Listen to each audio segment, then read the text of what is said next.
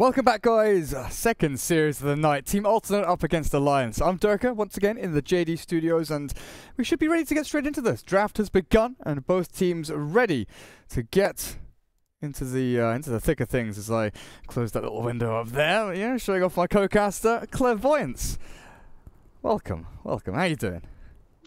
Doing quite all right, man. We had a little bit of break since that last game, and a break we certainly needed, as you said, to mull over the loss on the side of NIP, and of course the convincing victory 2-0 for Liquid. And now we have Alliance versus Alternate aTTaX.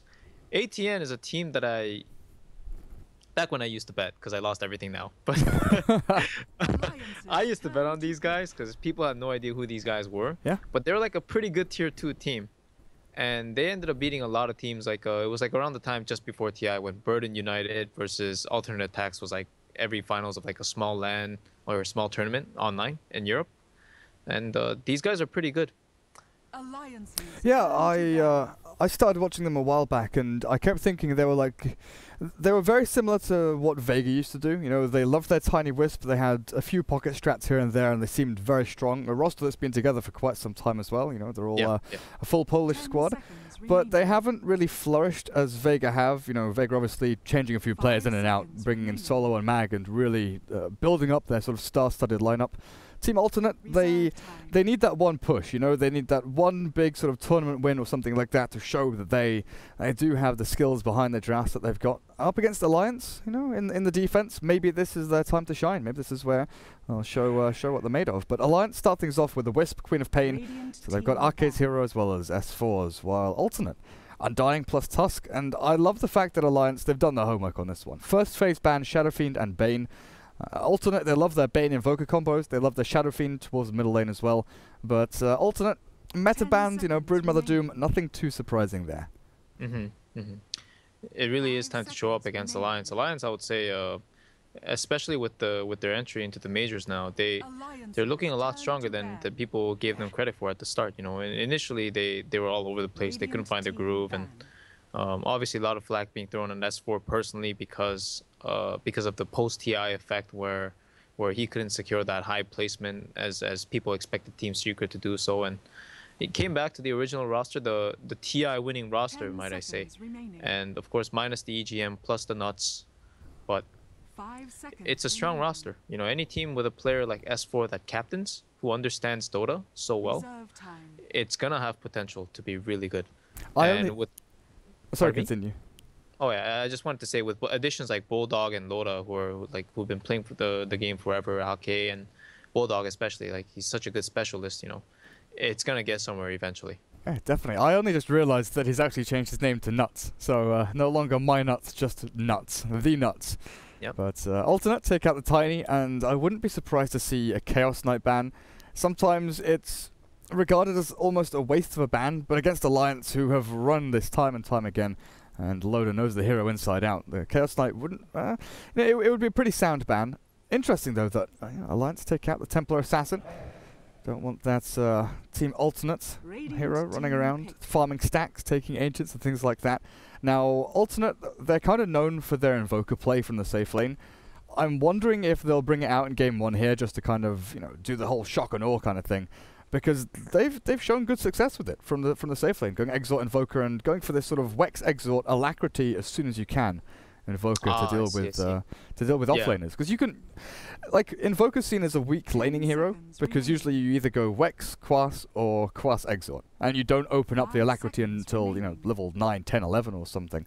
But with the way that supreme plays it you you can demolish heroes. We've seen invoker win against the darkseer early on Yeah, yeah, yeah. It's uh, with the recent changes, the the Wex Wex Exort is definitely a viable build. Um, it just allows. What happens is because people have this mindset that Quas is a necessity for Invoker to win the lane, and in the past it was because it had a lot better stats. The Cold Snap did a lot more damage, and of course regen, free regen is always a positive. But uh, yeah, if you do a Wex Exort, you just have to figure out a way to sustain. And it's a pub build to go like Mask of Madness and just go for a pure right click thing, but there are definitely a lot of things that like untapped potential with the hero, especially with the recent changes. That's how IceFrog does his uh does his changes to the heroes. Eh? He he buffs the aspects and he doesn't like alacrity. If you look at it, it hasn't gotten like the biggest buff in the world. It's a pretty significant change for sure, but it's just numbers that are there to really help you recognize how strong it really was, you know. And back then, nobody would have given the time of day to Alacrity build with the Wex Exort opening. But people now, they, they recognize that it's strong and it can win you the CS battle early. Yeah, definitely. But it looks like they're going to go for something a little more standard by uh, by their regards anyway. Now, Nightstalker, Tusk, Undying.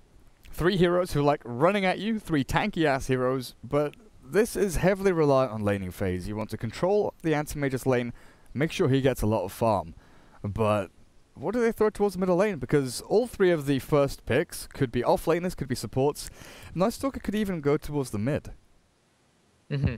I, I think it is going to be a mid Nightstalker, given how it is, because, um, I mean, the AM AM pick kind of puts a question mark on it, because you could do it like monkeys, where you have Undying Tusk safe lane babysitting the AM, and it works because those heroes are so ridiculously strong and they can get on top of you very easily with the snowball.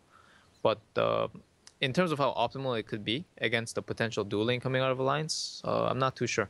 The Slardar's pick is still open.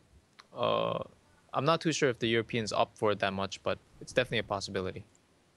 Yeah, we saw we saw a ton of Slardar at uh, at MLG, but also before that a decent amount uh, during the Frankfurt qualifiers. And Loda, you know, Slardar's always been kind of one of his heroes. The brown boots into Blink, and then Treads Midas, which he used to love going for, and then Slardar plus Wisp. You can combo that up pretty nicely.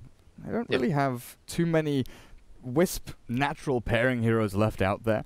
But I'm wondering if they go for Bulldog's hero first. He's been playing a, a ton of Nature's Prophet and stuff like that. But uh, there we go. Loda, another one of his signature heroes, Sven, with a Wisp. And they're leaving Bulldogs to last. Mm-hmm. Um, I think the Sven's okay. I I kind of feel like they might get choked out around the map, honestly, with the Sven pick. Because Sven, if you play him as a hard carry, you don't max stun. And even if like what happens is it's like the Tinker thing where if you max stun or max the early game potential Five with your double nuke, remaining. you you end up in this place after 10 minutes where you can't farm effectively. And and you have to be able to farm as a carry hero. If you want to carry, you have to farm. And uh, with the Wisp, of course, it's a very strong pairing as always. But I'm kind of worried because Alternate aTTaX just show like they're not hiding any cards. The the last pick they have in mind is definitely going to be some intel based hero, some spell casting hero with a stun possibly like a possibly like a five position hero, and I guess Bane would pretty much fit the perfect criteria for that. But um, it's it's like if you pick the Sven here, you you need to survive the laning phase, and even if you survive the laning phase, you're still going up against an anti mage. So I'm I'm not too sure if that was the optimal pick. I think it was kind of something that they were forced into because they picked three intel heroes at the start. I mean, Wisp is a strength hero, but it's it's very squishy. So they have three very squishy heroes at the start against a Tusk and a Night Nightstalker and Undying, right? And your lineup kind of looks very, very vul vulnerable. So I, I, I think they picked it up more as like an insurance thing for the mid game. So final ban here for Alliance. You know, you can you can look at this and wonder if they need a final support hero or anything like that. You know, Winter Wyvern, Witch Doctor, things like that wouldn't be wouldn't be bad to ban out if you uh, if you assume Nightstalker mid, Tusk and Undying maybe off lane, and then AM needs the plus one to support him down on the safe lane. Mm-hmm. I think uh, Winter Wyvern could be decent, but yeah, Witch Doctor I think Witch was Doctor was actually yeah, it was Witch Doctor was definitely the perfect one. Okay. You could combat the heal of a potential Dazzle Dueling, and you could most importantly offer a stun, and it's a multi-target stun to keep in mind because it's good against the Wisp Sven as well. So yeah, they got that banned out, and honestly, Alternate aTTaX they, they do have a lot of options. It it doesn't have to be limited to that. You could still be a lion. You could still pick. Uh, you could even pick Lina, for example, because this lineup is so so uh, aggressive the Lina will get the space to get levels up, and all you really need is levels right now, so long as you can hit your stun. So there's there's a lot of options with with the intelligence hero pool that they can pick here. And then what's left for Bulldog? Because Lone Druid, you know, maybe starts going back into things for him, but... Uh, Lone Druid is good against Night Stalker because Night Stalker has like a fixed amount of damage, but oh... Okay. There it is, man. Okay. I was I really wasn't expecting it. Like you know, yeah. early on in the draft, I thought Tusk Undying. Maybe they go for the Invoker, maybe, but with a yeah. Nightstalker Anti-Mage taken up after that. Yeah, they're gonna play like uh, like monkeys. I think monkeys, uh, monkey business. They're gonna have like Tusk Undying support or or Undying Nightstalker or Tusk Nightstalker. Again, it's just it's the meta of the strength heroes, man. These heroes have like no mana cost. They they sustain perfectly with just one magic wand, and it's it's kind of unfair for some of the other attribute heroes in the game, like the intel heroes. It's kind of weird though, because usually alternate they play the invoker in the safe lane, and they just farm him up and get things running that way. So mm -hmm. I mm-hmm. wonder, anti-mage towards the mid, poor man shield first, pull them a couple of tangos, and then run around causing havoc everywhere? Uh, I mean that old style of AM is so it's so obsolete now. I'm, I'm not sure how good it is. I mean it, it could certainly be viable, but it's not something I would recommend. Plus Invoker does well against QoP at mid. Okay. So yeah. I was just thinking if. I think their options are open because if you're expecting the Darkseer to get picked up by Alliance, which was a definite possibility there, then you know that you're going to do decently in the uh, in the one v one, especially once you get up to like level three, four, with your uh, with your alacrity up. But Beastmaster, good shout, going to be able to get himself in there. But yeah, Exotic Deer going to take the anti mage and uh, Supreme over on the Invoker. Now Sasu, their off lane player, Night Stalker going to be up for him. Uh, Tusk and Dying, like you mentioned before, the, the two early pickups going to be their supports. But Alliance, they've got heal, they've got sustain, they've got a ton of magical damage. But the physical damage they get is not too bad either. With the weave, the hits out from Sven, and they've got they've got a ton of auras. You know, lots of minus armor. The inner beast from Beastmaster. If they can catch Anti-Mage or Invoker, who one of which is relatively squishy early on, and the other which doesn't have too much uh, escape or too many escape mechanisms unless he gets into like force and blink. This Invoker, it's, he's gonna have a decent time early, but I worry about him later on. You know, Orchid from QoP stuns out from Sven and Beastmaster. It's gonna come down a lot to ATN's positioning in these team fights. I think I think I go the other way actually. I think uh, for me ATN, their lineup is like way way easier to play. Again, entirely because Alliance's lineup have like for one they have like some skill higher skill cap heroes. Um, it's it's kind of weird to put it this way, but like maneuvering a Queen of Pain against Tuskar and Night Stalker and Invoker, the like anti mage even because AM's mana burn is huge with mana void. Um, it, it's not as easy, and also Wisp is very squishy and Beastmaster too. It's like unless he gets like the safe lane this game, which I don't think he will. He, he's not gonna have the easiest time in the lane. I don't think, even if he's up against like tri melees or something like that. And I, I feel like Alliance they, they have to play their cards correctly they can certainly win, but like how hard they can repel the early game aggression from the Tusk Undying and Night Stalker is the real question mark for me here. So if they get run at early on, actually Exactly, trying to exactly. mitigate the damage that's thrown at them, yeah. Nisha up towards top with the Tusk, and they've got Sasu as well. You know, this uh, this Night Stalker plus Tusk. Tusk can just run himself around from top to mid, and it looks like they're going to place a ward relatively deep in here. Want to get one towards the pull spot, but five man movement in. The Dar Observer Ward has already seen this anti-mage who's heading down towards the bottom lane. And if they can stun him up for long enough, what, what have they got? They've got one stun. Uh, it's not going to be enough to kill him off, is it? Uh, They they pinged it out. They pinged it out. I think uh, I think ATN are well aware that they're here. I don't think they know about the ward because this is just uh, what the game's developed into. Now supports start TPing to mid lane to walk down to the Radiant jungle. It's just hard to scout out anything without TPing in these days. Oh, are they going to go the way that you said? Beastmaster's heading up towards top. And an aggro trial in here of Wisp, Sven plus Dazzle. Yeah, again, it's gonna be it's gonna be rough, man. Uh, it's it, it's all dependent on like how they jump, who jumps first, kind of thing. Both both tri lanes have the potential to turn the fight on the other. Well, top rune spot. the contest begins. Ice Shards will not block anyone out, but it'll hold Alliance in a position where they have to kind of fight into this with Oh, the Shadow Wave. The damage is pretty hefty down to Nisha, and S4. He's going to be forced to burn through his first shared tango with Sasu. Sasu, he runs back in to try and kill off S4, but these balls, they're slowing everyone down, and uh, Team Alternate, they've, uh, they've burnt through a lot of their HP as well. Nisha still Oh, battling it out with Beastmaster. Oh, never mind. Hang on a second. Oh wow. Not sure how that happens. As we're watching all the action up at top, actually a kill goes the way of Sven. Hmm. Interesting. Interesting indeed, yeah. And now the lane's pushed, so Loda's at, at the very least, Loda's gonna get some free CS before the Tusk is able to rotate in. It looks like he's starting to walk now. dying. has died again. He's walked into the middle of a shadow wave, and even with a decay up, Loda just smacks into him. That's two deaths in very quick succession from the Undying, and I've, I've got to wonder, what what's he up to? He poured it in for that. Yeah. Oh, I'm not too so sure, man. he's gonna have to walk back to the lane now. Not too sure. So Nisha makes his way down here with the ice shards. And uh, middle lane Supreme with his Quas into Cold Snap. S4 salves himself up. And should be okay here. But top is the top is the interesting one. Night Yeah. Stalker against Beastmaster. The boars, the axes. You know, Night Stalker's tanky, 650-ish HP with the 5 armor he starts off with. It's it's rough, you know, the boars sort of chip away a little bit, but it's nothing really noticeable. Especially when you've got a mango up on you. That 1 HP regen is pretty hefty. It, it is annoying though. Uh, I think Beastmaster beats like every melee hero in a 1v1 on the side lane. This boar, the slow is actually, it makes it impossible to trade. But as I say that, Bulldog's just tanking right clicks on right clicks. Wow, I'm surprised he let that situation happen. He just went for a creep and took like four hits for free. Uh, I do want to say one thing. Um, I've been getting word that I'm, I can't be heard in the game.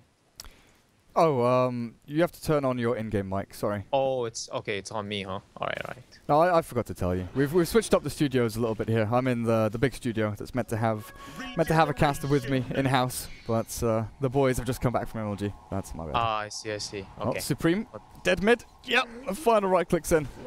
And Nuts is going to survive on a tiny amount of HP.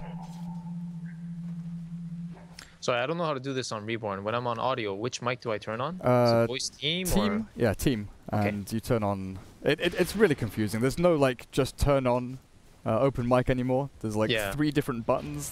Which one do I press? Well, I hope that works now. Good stuff. Well, S4, he's been chased down a little bit here. Tusk is still level 1 though, and Supreme, two points in the quest, none in Exort. Maybe with a cold snap, look for a kill onto S4, but he's going to be okay there. Up at top, Bulldog actually down at bottom lane. Loda, he's taking a bit of damage here. Exotic Deer, one point in the mana break, but they're going to run forward with a Wisp. The tombstone's dropped, but it's not going to last long. Look at that, it lasts half a second. And Loda's got another stun in 10 seconds time, but I'm not sure he'll even need it. As they chase down the Undying, meanwhile, on the back end, Akke's going to drop, but not before the Undying does, and Arcade survives. With a Shadow Wave that heals, the Tango through, and that Decay wearing off, Anti-Mage hides away in the trees. I'm going to wait for his blink out. Yeah, this is Uh, I don't know, man. The the, the early deaths on Undying, I, I feel like they're totally un, uncalled for, and it's it's having its impact on the lane. The support's getting a lot more EXP than they should, being able to get aggressive while the Undying is down. Um, and in the meantime, what are they getting on the other parts of the map? Like this Tusk has been hovering over bottom and top for a long time. He's does he's not even level two yet, so he can't snowball. I guess they're waiting on nighttime to make a play, but by then Bulldog is already level five, so he's gonna be able to scout out or at least slow one of them with a with a boar. This is not going good right now. They're not getting the effective trades that they want to. And Supreme, you know, the player you mentioned about the Invoker, he's forced into a Wex Quas build. You know, for all the Exort Wex build that we were hoping to see, if, if you're forced into a different build because of the lane matchup in the early game, you're already at a pretty pretty heavy loss, I would say. Oh, Bulldog. Tried the TP out there knowing the Void was on cooldown, but Nisha was waiting in the wings. He'll throw the axes, but that's his death. Beastmaster drops to the Roman. And Tusk getting closer to level 3 now. But down at bottom lane, Loda has like infinite stuns. He's got 7 stick charges, he's got Nuts just healing him up, regenerating that mana. And Exotic Deer, the anti-mage, 12 last hits, it's not bad. Blinks himself away. This isn't the situation you want to be in. Oh, this tombstone. Is this free gold for Loda as he walks forward, walks back? He doesn't want to commit to this one. And they'll just uh, they'll just focus down on this tier one. They will get the tombstone as they dive back. It, it, it dies so quickly, honestly. Yeah. You know the the how the tombstone has to be placed now is that you have to force them to commit to it, and to the point where when they commit to it, even if it's so easy to kill, they die. And speaking of that, this undying is he gonna fall again? It looks like it. No tombstone, no decay, no soul rip. The shards will come in, but they're not going to block anybody out. Snowball to save him for a couple of seconds here, but they'll just take them back into the wisp. And Loda should be able to clear this one up with a stun. The heal out from Arcane. They've killed off Undying and Exotic Deer, the anti-mage. He's in here with a Night Stalker chasing them down. They'll find the void onto the Dazzle, but Nuts. Sonic Wave! S4 joins the fight and says, Thank you very much, I'll take a couple of kills. Double up for him. And Sasu cannot still find the kill onto the Wisp. Even with a Void, he won't be able to kill him off. Another hit in will. Oh, no, not quite. He will secure it finally, but he'll give up his life for this. There's a stick charge, there's a blink, and S4 will jump himself forward and allow Loda to get himself up to a mega kill. 5-0 and 2 with 1200 gold. What, what, is his, what is his net worth? 3400 pretty much across the Sven, and then 33 on the QoP. Yep, it'll be 4K pretty soon as long as uh, ATN doesn't send some heroes bottom with TPs because that tower is sitting at 200 HP, and with his cleave, he's gonna push out the wave here, as you can see now.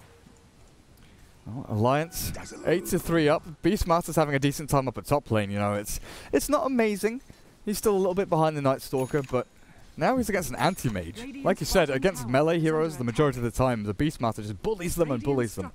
And with these double boards out, the fact that AM doesn't have a Ring of Health, doesn't have any sustain really, apart from the three tangos he's still got himself. And you Yeah. look towards mid. Invoker being pinged out. They want to jump on this. ATN basically has a lot of early to easy to execute early game heroes for their lane, and as I say, that Invoker will probably no, he'll survive. He has the Ghost Walk available, but um, yeah, S4 is gonna go for another nuke, and if he kills him, The oh Shadow Strike gosh, is killing him with the gonna poison. isn't it? He's Yeah. dead. Double poison. Uh, That Invoker's to be so, so upset with that. Up at top, Bulldog being chased. Exotic D, he wants this kill so badly with the shards. Still not securing it quite. They'll get the anti-mage into the thick of things and bring him down. But look at who's joined in. S4 is back up here and looking for nice. kills. No- Dodges with Snowball. Back to the catapult. But there's no real escape from this one. Dazzle dies on the back end. Nisha loses his life for that. But Beastmaster plus Dazzle for the Invoker plus Tusk in the, in the grand scheme of things, while Loda is farming freely down the bottom lane. And with an Ogre Club, I'm not feeling the rushed BKB here. What do you think? Uh, honestly, I think he's gonna go S and Y. Radiant's Yeah, he's going tower S and Y. is under attack. He's got the Sanj. He's probably gonna get Yasha after, and uh, fortified. So then you can build him in multiple different ways, and I don't know what the most efficient build is every game. Eventually, he might want a BKB, but this is definitely not the game because he's snowballing so hard. I don't think he needs it. Uh, I'm pretty sure I've seen uh, a couple of players in like FPL NA and maybe even in official games going, maybe not official, but Sanjin Yasha Helm of the Dominator spend and just like Yep. padding out your stats, building yourself up, and it's Yep. really overtaken the Mom BKB build. The mom BKB build's still probably superior. The like mom is an item that makes event. Like the attack speed is so ridiculously good. But with the Helmet Dominator build, if you just assume that you're gonna get farm, and as I say that, Night Stalker gets picked off during the daytime. That's why you're a Night Stalker, not a Day Stalker. Uh, it's it's gonna. Pardon me. There's some more kills at bottom. Yeah, I'm just watching this back and forth. They keep going in and then going out. Nuts is trapped here with the cold snap though, and he should drop. Oh, Loda, retreat. Time to run, time to hide. Tornado EMP, gonna drain a lot of his mana, but S4 he wants in again. He's got a son. No, he doesn't have a Sonic Wave actually. They've got a stun, and there's no cooldown on Invoke here, so Supreme in a little bit of trouble as the Tombstone is still stacking up the zombies, and Arcane will keep his team nice and healthy. But Team Alternate forced to bring wait, three or four heroes down here just to deal with the tiny wisp. Radiant's top tower has fallen. Yeah, it's uh, it's a lot of movement that they're forced to again, due to the laning phase, and Loda's going in again. Of course he is. Supreme Kills on kills. He's got EMP. He can Ghost Walk if he wants to, but I think it might just be it. Oh, there we go.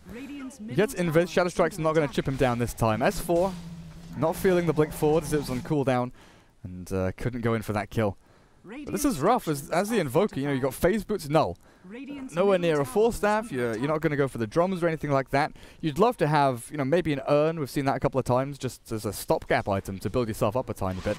But the Orchid, the item that you're aiming for, is this oh, Cross Wexen. Oh god. Oh, it died for that one, huh? Man, this is just this is just a run over. There's 19 kills in this game in 9 minutes and 30 seconds. There's almost 2 kills a minute. This is like is alternate attack Russian? Uh, Polish. Radiant's middle Oh, tower the, the has Polish, right? Okay. They're looking a lot like Russian Dota though. With all the kills going back and forth. Holy smokes. Run at them, get. But the thi- relent, like, like, exactly, like, but the thing is, like, Alliance are really fighting back. They know that Team Alternate have a lineup that runs at them with Undying, Tusk, Night Stalker. During the Yeah. nighttime, it's just like Honestly charge. though, it, man, it's the it's definitely the early game though. You know that that double death on Undying. I I have no idea what that was about. You just give up two kills on Undying. You don't even have TP anymore, so your lane just starts at two minutes, and you've already given up four or five hundred gold. You can't win a tri lane like that. I I think that's it's way too big for this game to happen like that in the laning phase. Well. I, I have I have no idea what he was doing. I just wasn't watching at all, and you caught it, and I'm just sitting there Like, going, I didn't see the first kill. I, I Yeah. didn't see it. I- Yeah. The second one, he TPs and he just walks straight back in again. But speaking of Orchids, the Invoker far from one, but Queen of Pain. First Oblivion She's Staff and close, yeah. I mean, this is what happens, right? You lose the tri lane like that, your tier 2 dies at 10 minutes, and you're not facing a Broodmother. So something is seriously wrong here. And you have an Animage who has no space to farm whatsoever on the map. Just getting zoned out by QoPs right clicks. It's just no no place on the map to be now. Tier 1 tower at mid is dead, so you can't farm that. Tier 2 tower at top, you, you can't farm that because Night Stalker's there, and even if you push out the Night Stalker, where does the Night Stalker go? The Day Stalker does not farm neutrals, so... it's- Hope is slowly being lost. they're smoking up behind the Queen of Pain here, it looks like. Risky stuff. Oh, this would be a big pick if they can get it. Oh, S4. It's nighttime. This is uh, this is ballsy sticking around. And if you blink into the trees, there's tornado EMP to catch you. So Blink TP, I think he's overstayed. He's definitely overstayed now. EMP, oh no, no! The snowball will catch him, but S4 they're relocating back in with the Sonic Wave back. They're going to block him out with the shards, but Loda charges forward with the Warcry. Stun on three, stun on two. They catch the AM and the Undying. The Tombstone's not going to do a damn thing as S4 jumps forward, finds one, but misses uphill. Sasu, you're in a ton of trouble, my friend. Back behind the tier three. And you Oh, know who Bulldog's joins in? Bulldog here. is like, guys, I'm in the game as well. Yeah, this is this is a push. S4 has another bottle charge and some sticks as well. They got the sustain coming out of the dazzle, and Wisp will surely make it to the fight after the pickup of the bounty rune at bottom. This is a Rax. They they can't hold this Rax push. I don't think. Well, that is if they go for it, of course. Yeah, Loda pops the Warcry and back in he goes. Onto the tier 3. Now, Bulldog, he's got what, level 1 Necro Book? He's uh, looking pretty good, but Orchid is done for the Queen of Pain. So S4, S4 has a 12 and a half minute Orchid. With Tread's null bottle. 7.5k net worth. Yeah, 1230. That's a farmed Queen of Pain if I ever seen one. They're gonna Rosh now instead. They're just saying, okay, well they're all up. It's nighttime. Let's just go Roshan. They can't fight us anyway. In they go. Man, oh man. So SNY for Loda, Nuts has earned 1300. And Arcane, you know, the, the guy that rarely gets a, a good chunk of farm, has Arcanes and a little bit of gold saved up himself. But Team Alternate, are we sure about this one? They're running towards the pit. Anti-Mage cannot fight. Anti-Mage is up at top farming, so this is, this is going to be a 4v5 at best. With the Tombstone level 3, maybe they can make this work, but there's so much sustain. There's Wisp, there's Dazzle. Dazzle's starting up though. They need to heal him, they need to keep him alive with the Tornado EMP there. They'll burn through the Dazzle and actually take him down, but Queen of Pain is blinked up onto high ground, stunned, slowed, silenced, and the heal comes in from Wisp. Keeps him alive for now, and he's finished off. Wicked Six Oh. Streak stolen out there on Loda. He's left alone against a bunch of heroes and Team Alternate. They're actually winning this one out. They'll lose the Undying for it, but getting a couple of kills and a buyback from QoP, who TP's back down to kill off someone over to the side. Invoker, Ghost Walk ready. Runs himself away, and there's no Hmm. reveal just now. There won't be coming. Uh, my nuts should have relocated S4 there, and S4 would have just lived and trimmed on them entirely without the buyback. But I guess it's fine. Again, they they realized that they could take the fight at Rosh, but that that positioning was kind of poor on Alliance because they didn't have any vision whatsoever. Like they didn't put a ward outside the pit either. So the smoke sort of caught them off guard, even though it shouldn't have. Regardless, the result is the same. Bulldog got the Aegis, and I, I don't think that's the ideal hero that they wanted it on. But everybody's so farm. They're just gonna push high ground with it when Bulldog gets book three, and he's He's got it basically, yeah. He actually just got the tier 3 tower with a boar. And Necrobook. So he's got book 3 now. The little minions taking down tier 3. Or relocate top to the AM, he's dead. Oh man. Oh man, with the Orchid. It's just too simple for S4. So they've lost their tier 3 bot, they've bought an armlet over on the Night Stalker. And they're going to go for another smoke here, it looks like. Yep, smoke on the courier. It's getting desperate for Team Alternate now. Yeah, this is this is like it, they're just gonna go for this, and then if they lose, I think they're just gonna call the GG. They don't really have a follow-up play. It's nighttime. If they can't make, make use of this time, the next 16 to 20 minutes when it's daytime, they're not gonna get anything done. Boots of travel on the Wisp, but it's not going to help you in this situation. Tombstone's drop, Nuts is dead. With the right clicks out from the Invoker, Zombie slowing him down. And meanwhile, Arcane Loda, they're looking to maybe turn this one back around. Bulldog has Necro 3 and Roar available, and S4 was running himself down as well, but it's a minute and a half until Sonic Wave is back up. Radiant's middle tower is I'm wondering, attack. do they just go charging down middle lane now? Uh, on the side of Alliance, I, I think they can. I'm not sure if they want to, but they certainly can. The Wisp has like four run charges and bots, as you mentioned, so she's just gonna come in and heal up this Sven. Nothing stopping them whatsoever. This AM is just he's way, way, way too shy of his farm to to be relevant in any of these fights. And so it's Alliance with Aegis is gonna be fighting like 6v4, and with their farm advantage, you might as well call it like a 8v4 kind of thing. That's annoying. Loda has no mana remaining, but Wisp gonna bring himself back up to this one, so Nuts yeah, tethers up and keeps Loda flowing, but this this Undying, he's got a buckler, nothing much else, a little bit of armor, he's level 6, 15, 16 minutes into this game.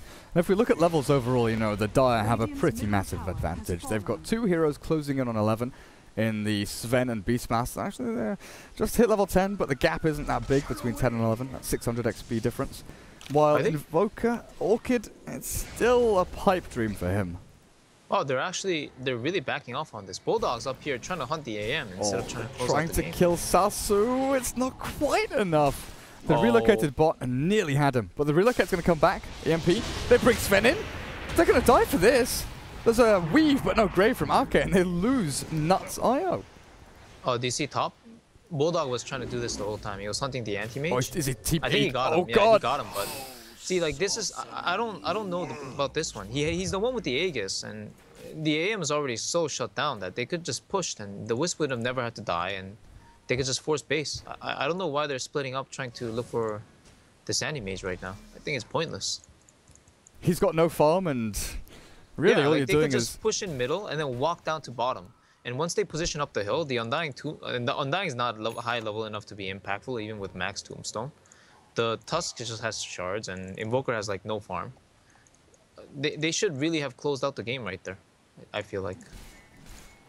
Alliance taking a little bit slow, a little bit steady.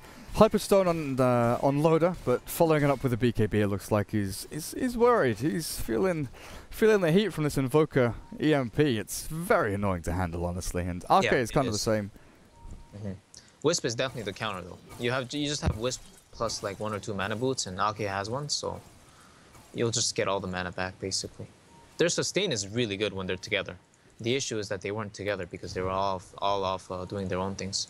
And I think the result is that this Aegis is going to be useless for Bulldog now because he's just playing this hunter role kind of thing where he's just looking for a kill. He has Roar now, and I think they have a they have a boar in position too, so they're going to try to scout out the Invoker, but he goes into Ghost, Ghost Walk, so they won't be able to find him. Well, they see the hawk. They know they're being watched. And Bulldog had full vision of the people coming across. And they're going to get this observer ward as well. Sentry's ready for Nisha.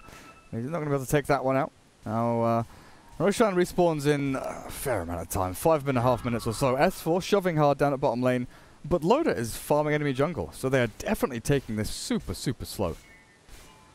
Do you Yeah, think they wait uh, for next Roshan even? I I don't know. Um, I don't think they have to, but it's like if you want to play it safe, the best thing always is to just wait for next Roshan when you have total map control, and they do have map control.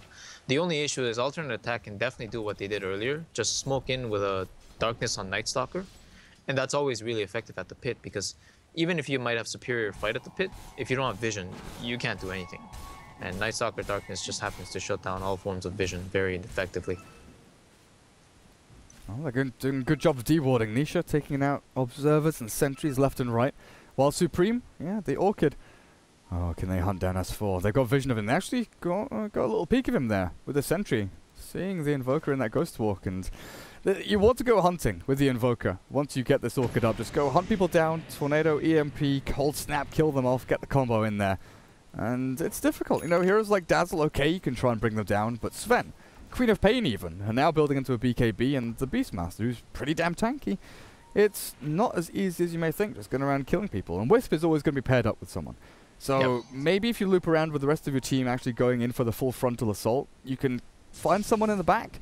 But you can't go and do like you're mentioning Bulldog's doing in that solo hunter role, just finding pickoff after pickoff. Mm-hmm. They see the Night Stalker. He has blink. Uh, I thought he was actually gonna go right there, but they're they're shying away from it, saying it's darkness. We don't see any of their heroes. There could be a turnaround. And I, it's I think it's acceptable to have that kind of respect at this point. They did give away a couple kills, and it could get pretty dirty. So Anti-Mage Claymore just needs 900 gold for his Battle Fury completed. But 20 minutes, it's getting later and later. Oh, Supreme, have you been spotted? Alliance are on the hunt, and they, uh, I think they know they caught a sniff of him. But he's going to keep himself far from the creep wave, not give away his position. And BKB is nearly done up for Loda now, so once they've got that up and running, they can maybe start charging towards them. Hawks, boars, everything in the kitchen sink given vision here for Alliance. Anti-Mage just trying to find that one little spot to farm in. But there isn't anywhere to go. Alliance are grouping up at top, and they've got the relocate to come in as well, so if they see one hero, anyone they can jump on. But alternate, they've done a good job the past, you know, four or five minutes or so, really after the Rosh fight that they took, forcing Alliance into an uncomfortable situation. They've got control of their jungle again a little bit. You know, they can move out of their base, maybe even cross the river, because there's there's tier one standing. And that's gold waiting to be collected. Mm-hmm. It's unfortunate though that the Night Stalker had to show himself in the process. I think the reason why Alliance is on the other side of the map is because they saw Night Stalker at bottom and said, uh, "We had the Wisp uh, Wisp Sven there, and we don't really want to take a head-on engagement without the relocate fight." where they have the initiations coming in from Bulldog and QoP and stuff like that. So I I think they're just gonna wait for the next Roshan. It really looks like they're going to at this point. Yeah, looks like it.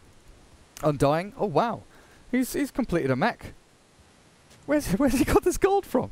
All of a sudden, from having a buckler and brown boots, uh, fully completed mech. No arcanes though, so mana sustain is going to be a little bit difficult. But team alternate. Oh, whoops.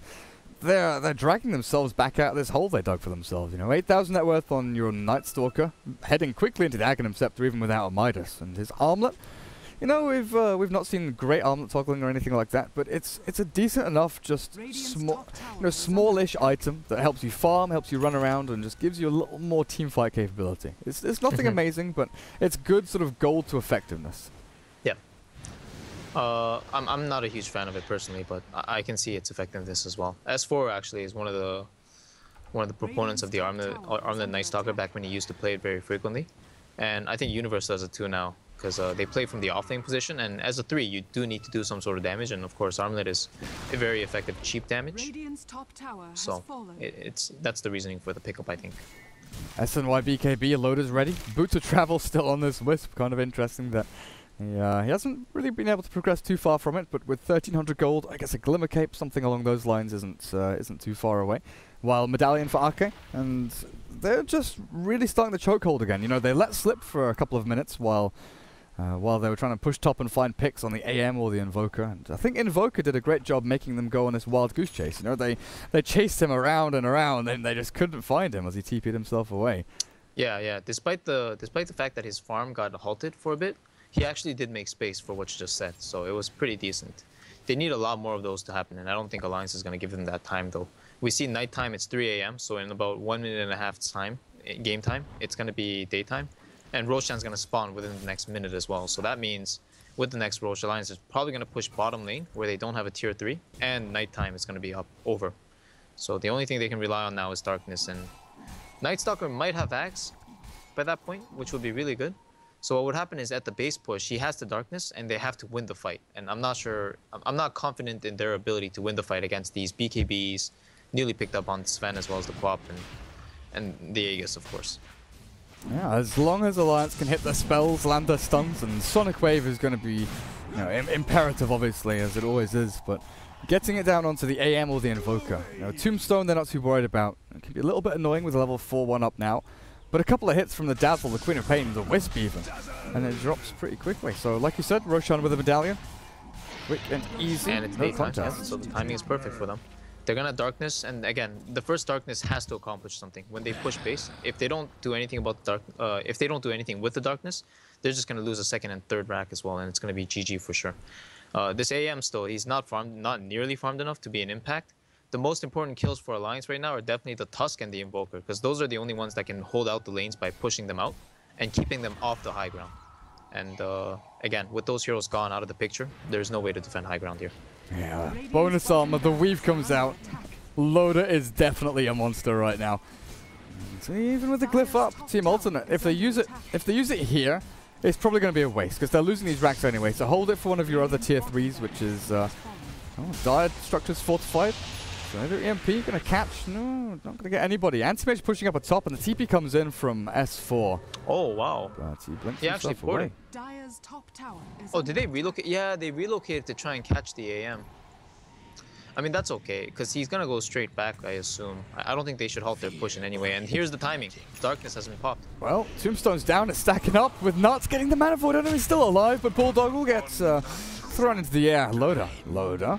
Still got his BKB in with a Warcry forward. He'll catch Supreme. Here comes a Scream Sonic Wave onto Nisha as well. And they'll clear him up. Nuts healed, graved, and Sasu with the armlet on.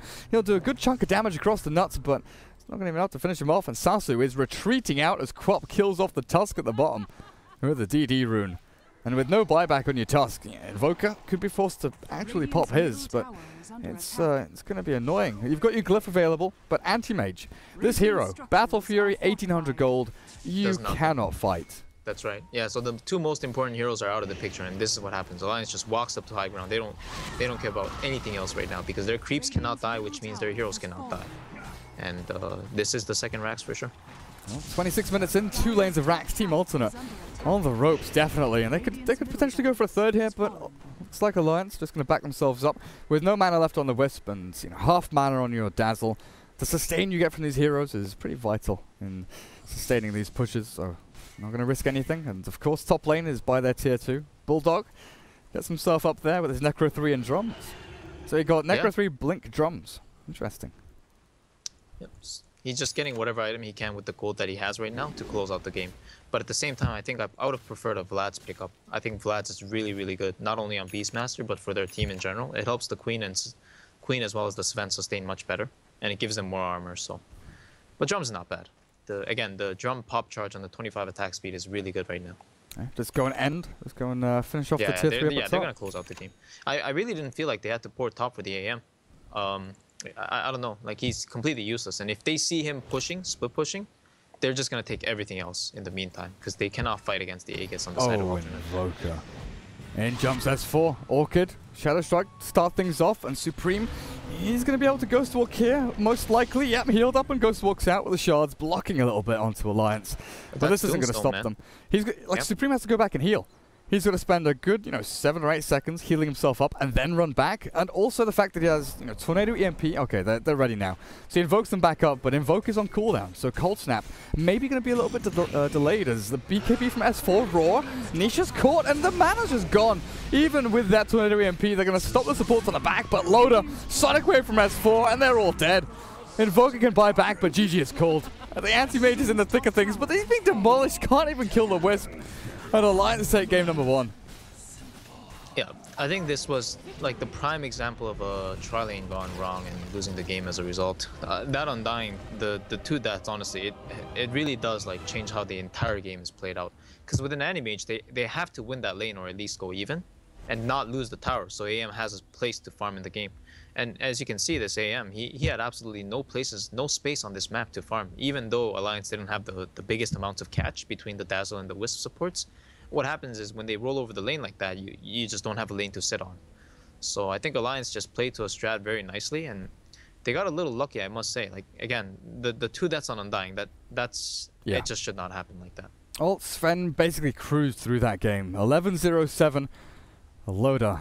Absolute beast on that hero. But yeah, game number one goes the way of Alliance. We'll be back in a little while, guys, with game number two. I, I can't remember if Danish TV are, uh, are covering game number two, so we might have to wait for their time slot, but I'll find out for you guys and see when we get game number two starting up. So yeah, uh, a little break for now, but we might have a longer one for Danish TV to kick in.